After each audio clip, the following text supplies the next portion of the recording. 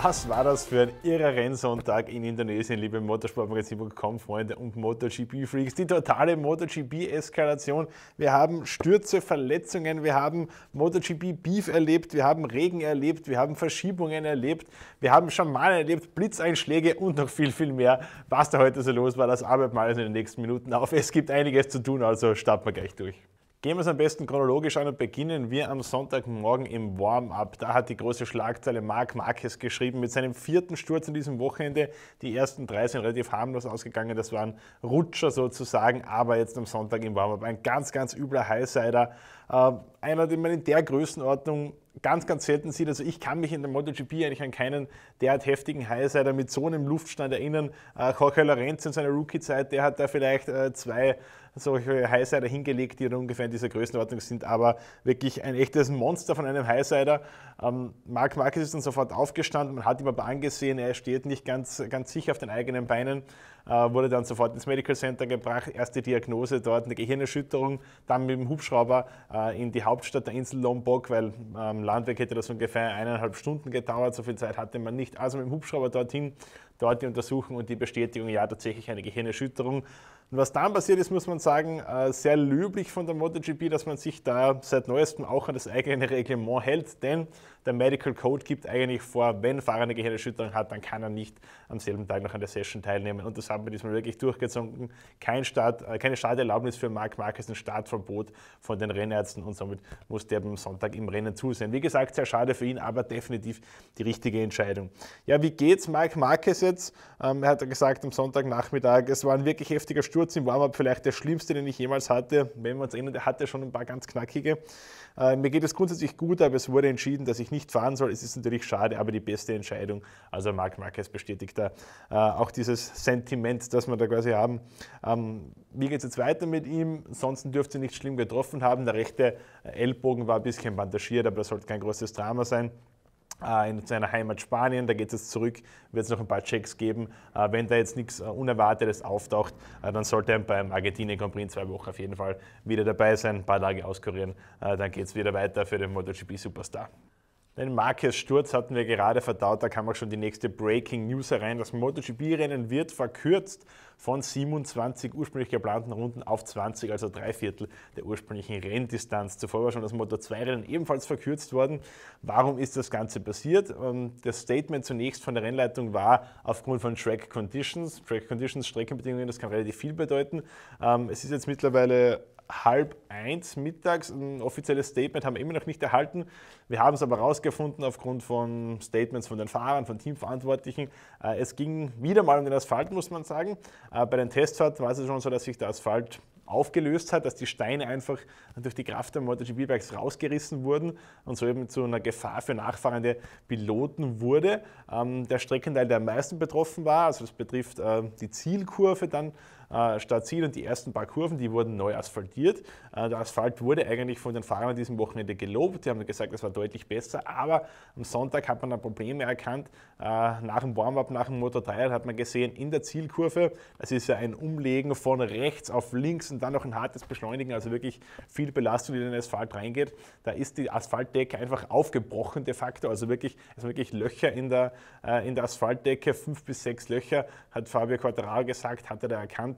Äh, und um den Asphalt eben einigermaßen zu schonen zumindest, hat man eben die Renndistanzen für Moto 2 und MotoGP verkürzt. Ähm, es hat dann im Endeffekt funktioniert für, die, für das Rennen. Äh, ganz klar ist aber natürlich, für das nächste Jahr, für 2023, muss da jetzt definitiv eine ordentliche Asphaltdecke her. Dieses Rumeiern mit da ein bisschen neu asphaltieren, da ein bisschen neu asphaltieren, dann doch wieder Probleme, Steinchen lösen sich da und so weiter. Das ist keine Lösung auf Dauer, das ist natürlich MotoGP würdig. Äh, Indonesien, super, dass das Land zurück ist in der MotoGP. Äh, diese Nation mit dieser unglaublichen Motorradbegeisterung hat sich auf jeden Fall einen Grand Prix verdient, aber gewisse äh, Grundanforderungen müssen einfach erfüllt sein und da gehört eine ordentliche Asphaltdecke dazu. Aber bin mir sicher, dass wir das bis 2023, bis zum zweiten Indonesien Grand Grand Prix in Mandalika dann auch hinbekommen werden. So, Marc Marquez war also raus, das Rennen war verkürzt, dann wären wir eigentlich bereit gewesen, in das Rennen zu starten. Eigentlich, denn Das Wetter in Mandalika hatte etwas dagegen. Kurz vor MotoGP-Rennen sind flutartige Regenfälle, Start verschoben. Die Strecke ist wirklich unter Wasser gestanden. Safety Car war draußen unterwegs.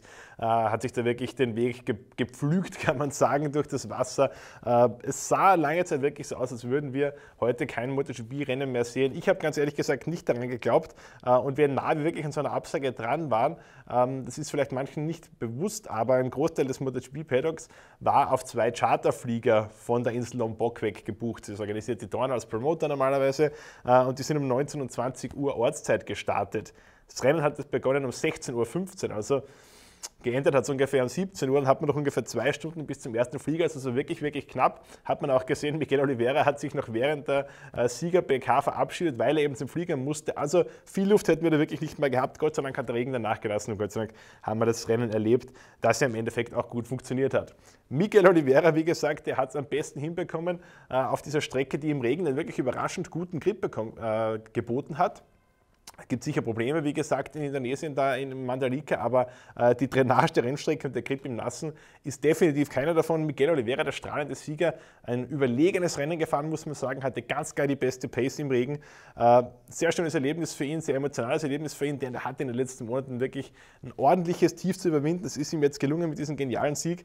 25 Punkte hat er geholt, 25 Punkte für Miguel Oliveira, das sind mehr, als er in den letzten elf Rennen zusammengeholt hat. Das sind ihm gerade mal 20 Zähler gelungen. Und das bedeutet jetzt auch in Verbindung mit dem hervorragenden zweiten Platz von Brad Binder schon in Katar, dass KTM jetzt die Teamwertung und die Herstellerwertung anführt. Hatten wir so auch noch nicht. Also herzliche Gratulation an dieser Stelle auch nach Mattighofen und nach Munderfing. Und als hätten wir heute nicht schon genug Drama gehabt, wurde das Ganze noch gekrönt von einem wunderbaren Zickenkrieg. Heute im Angebot die Herren Fabio Quattararo und Jack Miller. Worum geht's? Zweite Runde. Jack Miller ist Vormarsch von Startposition 9. Quattararo ist ja auf Pole gestanden, musste zu dem Zeitpunkt schon Miguel Oliveira vorbeilassen. Also Duell um Platz 2 zwischen Miller und Quattararo. Miller geht in der ersten Kurve vorbei, Quattararo kann aber am Ausgang kontern oder versucht es zumindest, geht aber selbst ein bisschen weit, trifft Miller am Bein. Für mich jetzt eigentlich kein allzu spektakulärer Zwischenfall. Miller ist auch vorn geblieben. Äh, für mich ein Racing-Incident. Aber Jack Miller hat das ein bisschen anders gesehen. Der war richtig sauer auf Fabio Quattararo und hat da in seiner Medienrunde ein bisschen Dampf abgelassen. Er hat gesagt, äh, er ist mir einfach ins Bein gefahren. Mit Joan Sarko hat er dasselbe gemacht. Das ist unfair und ein unnötiges Risiko und ich werde das mit ihm besprechen. Ähm, Fabio Quattararo ist zum, zu dem Zeitpunkt schon in der Pressekonferenz gesessen, also diese Besprechung ist es bis dahin nicht gekommen.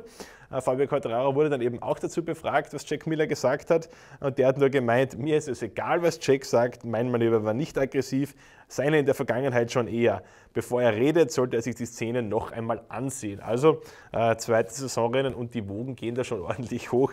Jack Miller gegen Fabio Quattararo an dieser Stelle. Gerne eure Meinung unten in die Kommentare rein, wie ihr diese Szene gesehen habt. Das war es also von einem hochturbulenten Indonesien Grand Prix. Ich hoffe, ihr hattet genauso viel Spaß wie wir hier in der Redaktion. Wenn euch das Video gefallen hat, natürlich wie immer gerne einen Daumen nach oben da lassen.